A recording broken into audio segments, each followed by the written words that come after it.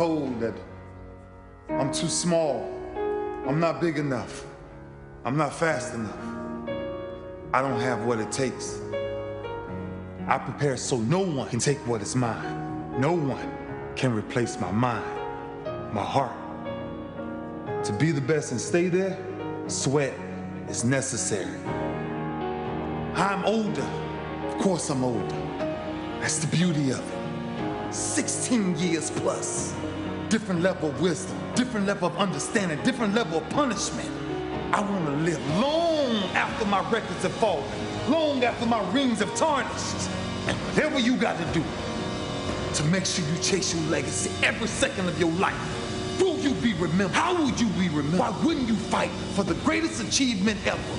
Leave your mark to endure What's crack again, YouTube? Your good friend Dasmerg coming at you live-ish. Ray Ray, man. Intensity personified or what? What do you say, man? And for Ravens fans out there, this is nothing new for them. What's going on, folks? We're uh, post-mortem here, as uh, as one would say, for E3 2012. Give you a little background, give you a little uh, perspective, as your good friend Dasmerg tries to.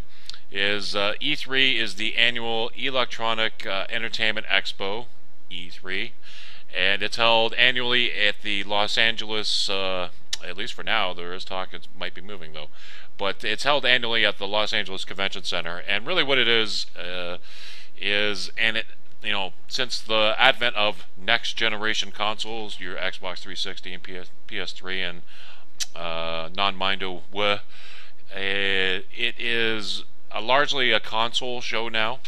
So and you know, your good friend Dasmerg's back into doing the PC gaming thing. I still got both my consoles though. You know, I got my well, actually, I've got three of them because I've got my PS. You know, I got my PS3, I've got my 360, and I still got my PS2. In fact, I got the new new cool slim one for a couple old titles that uh, never made the transition and won't play on my new PS3. But I'm getting kind of lost here because what we're talking about here is post-mortem E3, and really the big splash of this year's uh, E3 was Madden 13 definitely one of the big splash games this year. Made a lot of noise. Uh, it's making a lot of noise on YouTube amongst the sports com, you know, my fellow sports commentators out there who do a much better than your good friend Das Because again, this is part time, and I just share my passion with you folks out there. And really, just want to go over straight from the horse's mouth. That's the purpose of this video. Madden 13. What do we know right now? This is all going to be clips taken directly from the developers. I like to get my information from the source, as they say, and you know what I mean? Not uh, you know, you know, not third hand. You know, I'm not going to be reading off some forum post from some obscure forum from some guy who heard from another guy who was at the show. No, I'm going to show you clips taken directly from this this year's E3. Uh, we're going to start off with the actual, you know, a couple of uh, tidbits there from the actual presentation. We'll get into some of the other game mode stuff that they put out. Uh, this is all lovingly borrowed from EA's uh, EA Sports' YouTube channel, so you go over verify it there. And really, it also a little informational video for you know folks who don't want to be sitting through like you know because there's a ton of videos now, and especially you're going to start to see a bunch of gameplay from the game floor uh, videos start to roll out too. So the, it's not so much focused uh, this chat that we're going to have here, this video I put together for you, not so focused so much on the actual gameplay, but it's really a what we know and what we've been told. And a little bit of diagnosis, and as always, your good friend Dasmerg, we're going to have a little bit of fun. So, let's get into it here. We're going to kick off with uh, what hap- what transpired right after that. That was, that was, as I said, that was the you know sizzle trailer leading into their actual presentation where Cam comes out on stage and actually talks uh, Madden 13. Well, you know, uh, he they were the lead speakers for uh, the EA Sports presentation, and yeah, you're gonna see why. So it's all good stuff. Stick around, and here we go.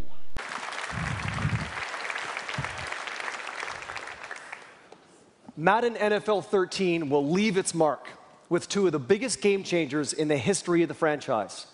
Let's start with gameplay. Madden delivers physics you can feel, powered by the all-new Infinity Engine. Every impact is more intense. Every battle is more realistic. The Infinity Engine technology delivers runtime physics, and the result is the most authentic gameplay we've ever created. And here's why. First, it delivers a countless number of animation possibilities. No two plays will ever look or feel the same. Second, interactions between players are more organic. If a player's arm is knocked while running, it may affect balance. If his leg is hit, he may trip. The Infinity Engine considers a player's mass, his speed, and his momentum, and this affects the outcome of every collision. Third, a player's physical attributes matter more than ever. Smaller players won't easily drive through larger players. Little guys will have to use their speed and agility to keep larger defenders off balance and avoid a square hit. And finally, predetermined outcomes, they're history. In the past, the start of a tackle animation would tell me that my control over the play had ended. But now, with the Infinity Engine, I can regain my balance after contact and fight for a few more yards. It's simple. The Infinity Engine completely changes the outcome of every single play. And that's why they get the keynote address, folks. That's uh, that's a pretty hot load of awesome that uh, Cam just dropped on us there. You know what else he could have just come out and done? Surprise, motherfucker. now powered by Infinity, that's what they're calling it, or a runtime physics-based game game engine, which means countless animation possibilities now, which also means no two plays will look or feel the same. These are quotes right from Cam, folks. Organic interactions between players instead of predetermined animation sequences. Player physical attributes will, quote, matter more than ever because remember, we're now in a runtime physics environment. Folks, these are the things that we've been asking for. Uh, we, I, I speak uh, generically and generally, saying, uh, you know, the Madden game players and, and EA, EA's brand of football have been asking for since the end of the PS2 and original Xbox days, since this game moved on to 360 and it's finally happening. Lord, it's finally happening. and you know what? This is the things like Apex and Smitty and you know the the Sim Standard I've been talking about bringing into this game. And you know this is one of the reasons why I started a, a YouTube channel in the first place. But what's uh, let's hear more about this directly from developers, folks. Infinity Engine. What's up, AJ? Back here at E3 2012. I'm sitting here with gameplay designer of Madden NFL 13, Victor Lugo but more specifically, you are the gameplay designer for the Infinity Engine. Tell us just right. quickly what the Infinity Engine is. Uh, well, essentially, the Infinity Engine is a new uh, physics engine that we've layered on top of all of our animations to give us lots and lots of variety in everything we do, and it's going to completely change the way we play the game. Just for those who played FIFA last year, is it kind of similar to what they did? Uh, I'd say it's similar, um, but it has definitely been created in tune uh, specifically for this contact sport, uh, which is football. All right, so we're going to jump into a play here. You've already got it queued up. This is in practice mode. Sure. Tell us about balance. Okay. And how this fits into the new engine. Sure. Essentially, what happens is, um, in the past, I would have been able to just crash through the line or crash through my guys and not stumble, not fall. But now, because we have a balance and stumble system, um, I have to be very, very careful of where I run um, and exactly how I hit the hole, basically. So what's going to happen here is I should have cut a little earlier or possibly hurdled this guy, but because I didn't, now you're going to see my guy stumble and fall to the ground. So tripped over your own guy. Right. In the past, I could have I could have just kind of pushed him to the side. You know, we weren't doing things as realistically as possible. But now you'll see uh, that my legs get caught up. Um, he's going to stumble a bit, try to keep his balance, and he's going to fall. Um, I gotta admit, man, that hole was pretty big. You probably didn't have to run over your guy. yeah, I know. I, I don't know what I was thinking, but um. You wanted you know, to give us an example here. Exactly, exactly. I never ever do that for real. that, that would never ever happen. But um, you know, this is this is what we're looking at. So every time you run the ball, you will have feedback on why you fell. Um, you're going to see the, the ankle get caught. You're going to see the guy stumble. And uh, in this case, I fell. But um, if you do the right thing, that won't happen.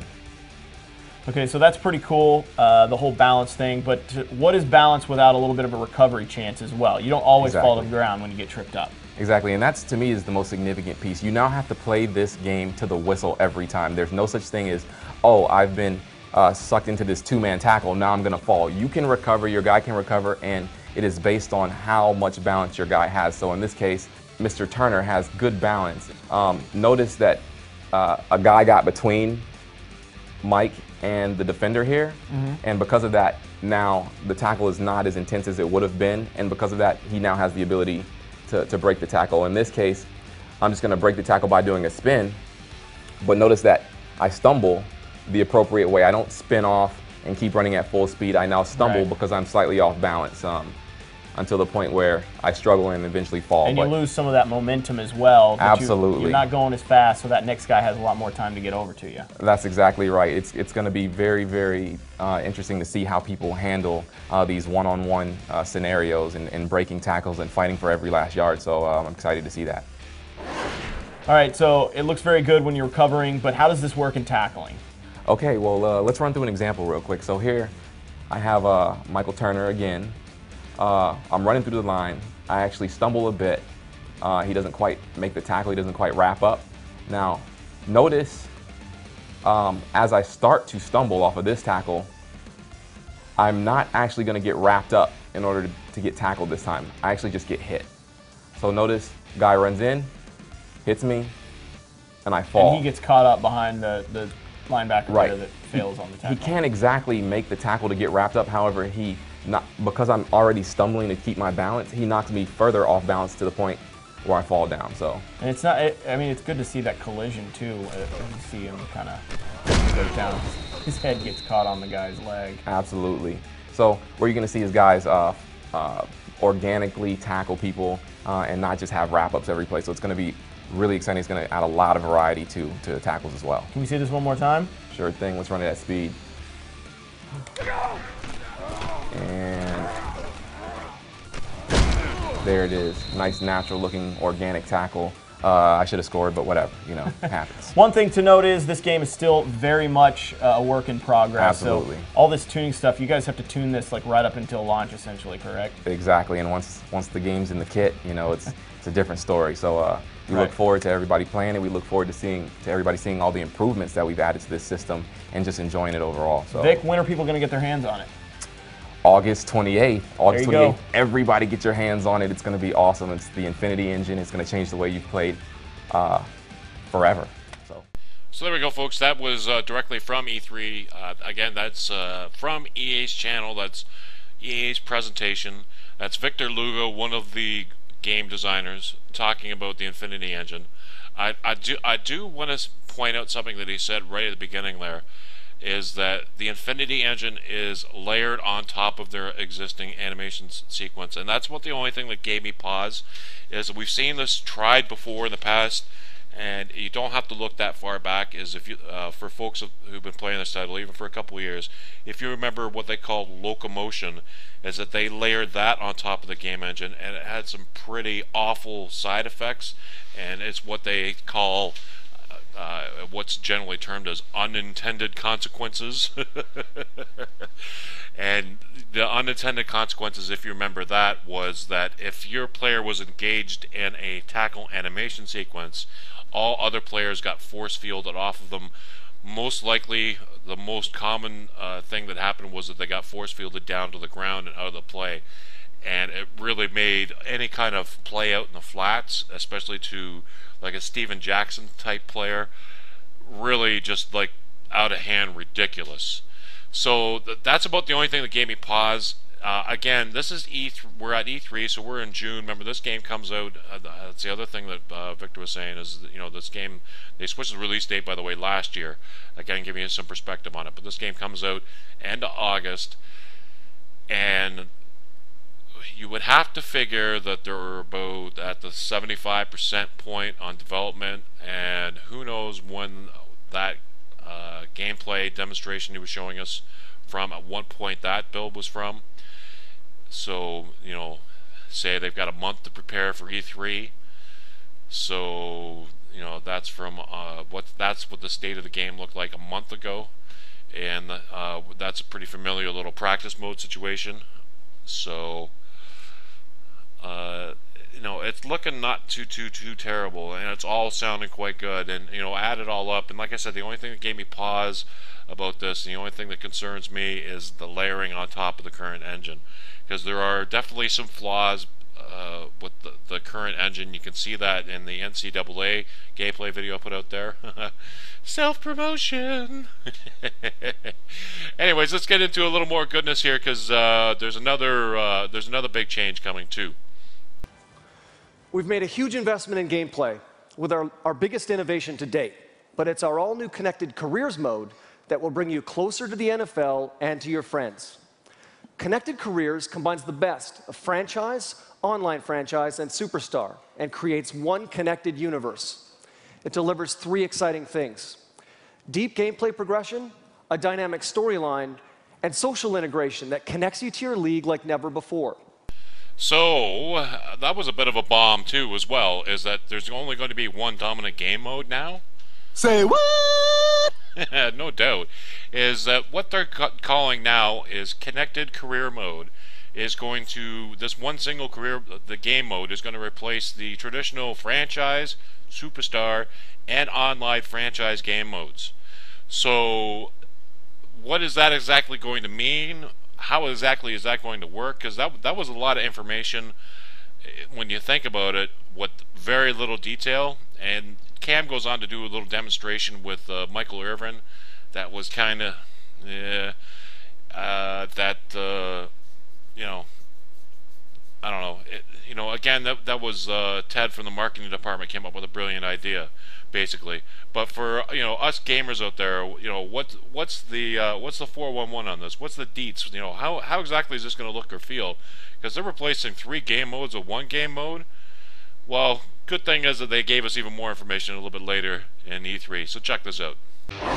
All right, EA Sports community. I'm your community manager, Justin Duell, here with Madden NFL designer Josh Looman. Uh, we just revealed Connected Careers. Yes, we did. Very exciting. So it's a big announcement here. There's lots of excitement with the community, but we also have a lot of questions going on right now. Josh, guys want to know uh, more about the mode. There's there's a lot of confusion with guys because it is so deep. They want to know. We've we've kind of said that there's no more offline franchise, no more online franchise, no more superstar mode. It's all connected careers. So with that, there's there's been a lot of questions. I have like 20 here from the community right now, so we'll get to them. Sounds good. Um, the first question we have is the guys want to know what does it mean to be a coach now, and do you actually get to play the game? So if you look at playing from the perspective of a coach, it's the same thing you've always had in offline franchise. So you're going to control the offense, the defense on the field, special teams, all that stuff. You're going to trade, you're going to draft, you're going to sign players, you're going to do everything you've ever had. So you're in complete control of the team as a coach. Nice. So with the coaching stuff, there have been, you know, we announced that as a coach now, you can get fired. Eh, on your job, which is authentic to the NFL, and that's why we have it there. But there are some guys who, there's a guy at Operation Sports who's a real loyal Chiefs fan. All he wants to do is coach the Chiefs, so he wants to know does he have an option to turn that off? Yeah, you definitely do. Whenever you create the league or the commissioner creates the league, you have an option to turn off being fired as a coach. So if you wanted to, you could coach for 30 years as the Chiefs head coach, never get fired. Uh, you'll be able to still meet your goals and all that kind of stuff. But uh, we do give you the flexibility to turn that off. Nice. That's a, that's a good option there. So the guys also want to know. So when you are playing as a player, what exactly do you have control over, and do you control the play calling and the player? So when you're a player, um, we actually spent a lot of time working on this, trying to figure out what the most fun aspect was of being a player. Um, if you control a player, you only control yourself. You do not control anybody else on offense. You don't control anybody on defense. Let's say you're a quarterback.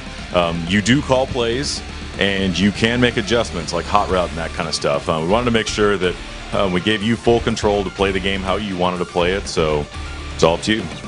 Nice. So, guys want to know also. So, obviously, we announced that we do have legends uh, in connected careers, but they want to know. So, when you're in a league and you have multiple owners who want to use the legends, what are your options there?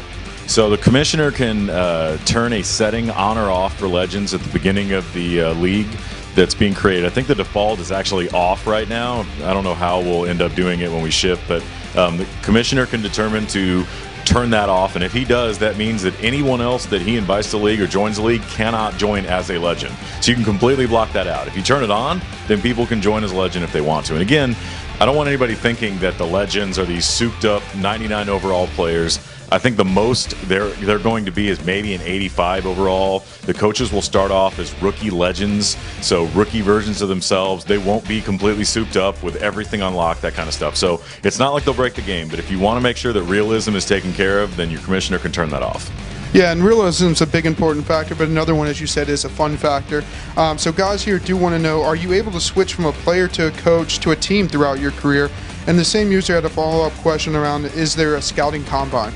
So you can definitely change from player to coach, back to player, all kinds of different positions as many times as you want.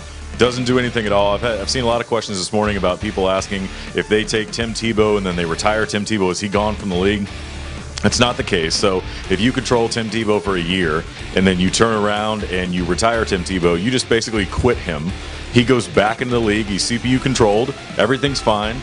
Um, if you take a created player a couple years and you retire a created player, then that guy is permanently retired from the league. Good, good detail there for the guys. By the way, Oh yeah. By the way, there is a scouting combine. It's not a big, you know, in-game event, that kind of thing. It's just another aspect of the scouting part um, where you go into a screen and unlock information about people. But it does happen at the real time the scouting combine happens. Nice. So the next question we had here is guys want to know. Uh, this came from a specific user on Twitter, but he plays a lot with his brother. He wants to know: Can I run a connected career with my brother if we both play on the same console? So this year on the same console, you can only play one person per league. Um, that's probably something we'll look at in the future. But again, it was something we wanted to do right. It requires a lot of changes to interface and that kind of stuff. So um, right now, it's just one person per league. Okay, thanks, Josh. Uh, so next one is they want to know what happens when someone in your league doesn't want to play anymore. You know, there are a lot of guys who will start a franchise, drop out, and the guys don't want their franchise to die. So what have we done for that? So online dynasty, online franchise, we kind of have the same uh, sort of control. The commissioner can go into the screen that shows all the users in the league at any time and boot anybody he wants. Nice. So guys also want to know is Connected Careers going to be an online type deal where you can compete against your friends or strictly offline? And guys that are listening to this, this is kind of a, you know, we have different fans here, different directions. I believe this one came from Facebook. So take it? Yeah, just very clearly, um, Connected Careers is online and offline. If you can uh, choose to play an offline career by yourself, you're certainly welcome to. You can have as many of those as you want. Uh, if you want to play an online career with your buddies, you certainly can. If you want to play an online career by yourself and take advantage of the sort of the online experience, you certainly can do that too. So we're kind of leaving the control up to you, whatever you want to do. Nice. So we do have guys that are very interested in the coaching stuff, and they want to know: Can you just give them like one example of a weekly and a seasonal goal that a coach might have in Connected Careers? Sure. Uh, coach goals are almost all predicated around the team. So if you're talking about weekly goal, it's like have 600 yards of total offense or score three rushing touchdowns, that kind of thing. Um, milestone goals would be something like win the Super Bowl or um, have 75 players while you're the head coach go to the Pro Bowl. Um, that kind of thing. Season goals will be based around wins typically. So um, you'll have a minimum amount of wins that you have to reach not to get fired. That's obviously if you have that setting turned on. Um, and also you'll have to be able to reach different levels of season goals. So if you win the Super Bowl, you may get a ton of XP because of that. I've seen a couple people online. I, wanted to address this real quick, asking about you know guys piling up stats and getting tons of XP by just you know throwing for 900 yards in a game. Weekly goals are one level. So if, if you have a weekly goal of throwing for 300 yards, you get 100 XP because of that. You're only going to get that. You're not going to get a ton more XP because you did three times more than that. So uh, I, want I want people to understand that we're trying to be very careful with XP. We're trying to make sure that we don't overdo it, that there's no way to sort of game the system. Um, even the milestone goals for like rushing for 200,000 200, 2,000 yards in a season. Sorry. Um, that goes more towards your legacy and it gives you XP, but we're going to be careful to not give you too much so that people are always trying to like run up the score in games and get tons of stats. Nice. Uh, the next one here is, guys, this is a short one here. They just want to know can a group of people play as their own created guys within the Connected Careers, or as they were calling it, online franchise? Yeah, I mean, w- one of the things that I didn't touch on uh, a lot, which is really cool, is the commissioner has the ability to determine um, who's in his league. So he can he can say that he wants a mix of coaches and players. He can say that he only wants players. He can say that he only wants quarterbacks or only corners. So you can play with as many created players with your buddies in the league. So you can create your own guy. Your buddy can create his own guy. It's a quarterback. You can create a wide receiver. Another guy can create a running back. You can all play as created players or coaches in the league if you want. Good. So this one here, we have a lot of guys again with the confusion, uh, wanting to know big offline, online guys. They want to know what that is in currently in Madden NFL 12 online and offline franchise is in connected careers. Uh, they give examples here such as your ratings regression with age, player confidence, consistencies, things like that. If you could just touch on it quickly. Yeah, I mean, we, we definitely made sure we handled all that stuff. So as players get older, they definitely regress. Um, they regress if they don't meet season goals. CPU players do. Um, so sort of, you know, it's kind of the the anti-progression. Um, We've got confidence, we've got consistency. All the players have traits. Everything that we had last year in that regard, we've got it all covered this year. Great. And this one's another short one. Guy wants to know: Are you able to control multiple teams on one profile? Uh, currently, you can only control one team on one profile. Okay. And they want to know how many connected careers can you have at once? So the example he gave is can I have an online league where I coach with 31 other users and then also still be able to do one where I'm a player? Yeah, we're still trying to work on the amount of uh, sort of limited um, uh, careers that you can be as a commissioner, um, and as the ones you know trying to figure out if we're going to have any limits of the ones you can join. Right now, we don't have any limits. It really is just based on how much we can handle on the server. Um, if you know, we've actually tried to encourage. Like, if you want to be a coach online with your friends, if you want to be in a league online with three other people and you're all quarterbacks trying to like compare yourselves against each other, you're certainly welcome to. If you want to play offline, you can. We're not limiting right now the amount of leagues that you can play in.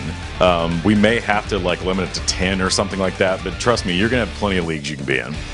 Good. So this is something here that I personally was a big fan of when you first told me, and, and guys are asking about. It. I don't think we touched on the webcast yesterday, but it's can you expand on the draft portion of Connected Careers and our future draft picks in? Future draft picks are definitely in. This year's draft picks. Another thing that I didn't talk about a lot on the webcast, we have the real draft picks. I know that's something that people have asked for for a long time. If in real life this upcoming year the Eagles have three first round picks or the Raiders don't have a pick till the seventh round, that will be reflected in connected careers. So when you start the game, the real draft picks will be there.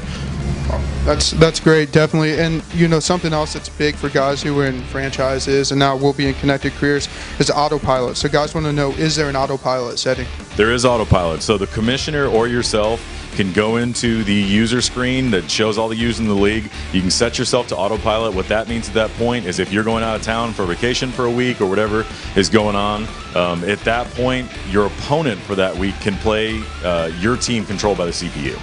So you can come back, turn autopilot off, and go right back to playing. Nice. So next one is, you know, we talked about having coaches, and we've talked about, you know, you might have a guy that's like a hot shot coach from college pop in, like a Jim Harbaugh last year. And so guys want to know, do those coaches have ratings, and, and does it actually matter? Is it more of like a name type of thing? So one of the things we looked at with uh, offline franchise when we started talking about how we were going to rate coaches was, um, is it really necessary to give a coach a rating of zero to 100? Um, we started to take a look at that, and, and uh, our initial reaction was no, it's not. So let's let's break coaches into groups. So we, we broke them into four levels. Level one is your your entry level coach, um, kind of new to the league, hasn't done a whole lot. Level four is your guys like Tom Coughlin, guys who've been around for a long time, um, you know, won Super Bowls, that kind of thing. So as your created coach, as you progress throughout your career, you'll go from being a level one to a two to three to a four. So um, we're trying to not use the zero to 100 rating scale we do for players just because we felt like there wasn't enough to kind of differentiate coaches.